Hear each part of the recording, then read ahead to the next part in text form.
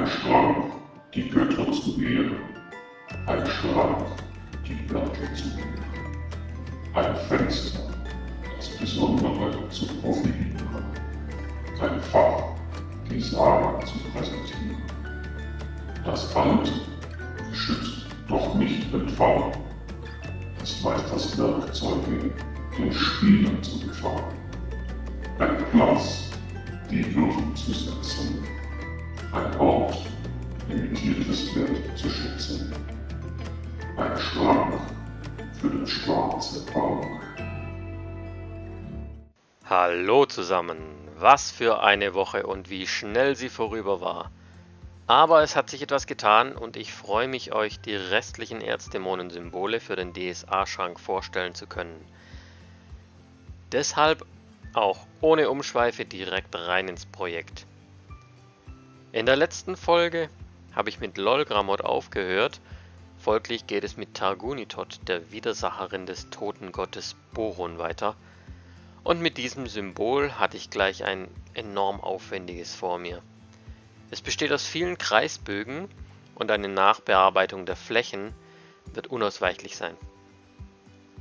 So ähnlich, wenn auch nicht ganz so umfangreich, sieht es bei Amazeroth, der Sinnesgegenspieler, aus. Einige Kreisbögen verlängern den zu programmierenden Text und der Kopfbereich wird wieder von Hand bearbeitet werden müssen. Bel Shirash, der gnadenlose, unbarmherzige Verfolger der Firun gegenübersteht, hat zwar keine Kreisbögen, aber viele, viele kurze Linien und das macht auch dieses Symbol in der Planung recht aufwendig, erfordert aber keine Nachbearbeitung. Asphalot, die Herzogin des wimmelnden Chaos und ihres Zeichens der Gegenpol zu Za, besteht zwar wieder aus Kreisbögen, aber aus wenigen und vor allem kompletten, nicht ineinander übergehenden. Das macht den Aufwand wieder ein klein wenig geringer, allerdings wird eine Nachbearbeitung der Fläche fällig. Das auch bekannt als der gierige Feilscher, steht Fex gegenüber und ist im Aufwand sehr überschaubar. Hier und da eine kleine manuelle Bearbeitung und das Symbol ist fertig. Belzorasch, die faulige Monarchin des ewigen Sichtums, hat es sich zur Aufgabe gemacht, Pereine das Leben schwer zu machen. Ein klein wenig aufwendiger und einige wenige Nachbearbeitungen und auch sie wird ihren Platz finden. Agrimod, Fürst von Yolgomak, hat seinen Platz als Gegenspieler Ingerems eingenommen.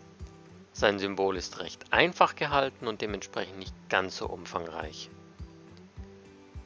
Zum Schluss nochmal ein zeitintensives Symbol. Belkelel, Rayas Todfeindin. Ihr Symbol besteht aus einigen Kreisbögen und Flächen, die zum Schluss bearbeitet werden müssen, um freigelegt zu werden. Damit sind die zwölf Erzdämonen versammelt und für mich steht eine Fleißaufgabe an, nämlich die ganzen Symbole mit ihren vielen Koordinaten einzugeben. Und auch die Schrankteile selbst warten noch auf ihre Programmierung. Die Woche wird also recht arbeitsintensiv werden. Und ich weiß noch nicht, ob ich alles auf einmal hinbekomme. Vielleicht mache ich auch schon die eine oder andere Probefräsung, damit ich euch dann in der nächsten Folge wieder etwas präsentieren kann. Bis dahin habt eine schöne Woche, bleibt gesund und wir sehen uns in der nächsten Folge.